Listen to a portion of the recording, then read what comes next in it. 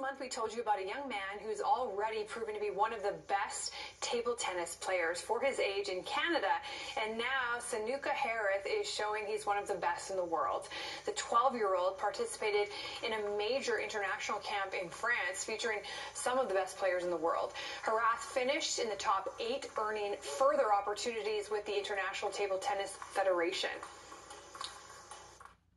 I couldn't stop wondering, like, am I good good enough? Am I good? Are they going to be way better than me? But it turns out our level was the same, and yeah, it was pretty different than I expected. That is intense. Good for him. Herath is now off to Singapore to participate in another ITTF competition. If he places in the top four, he will become a member of the world team for his age. Good on him. Putting us on the map for table tennis.